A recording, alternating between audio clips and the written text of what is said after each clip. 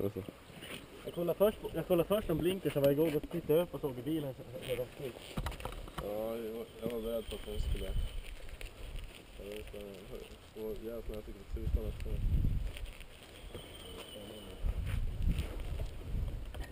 Det gick inget fort, jag hade kunnat stanna ändå.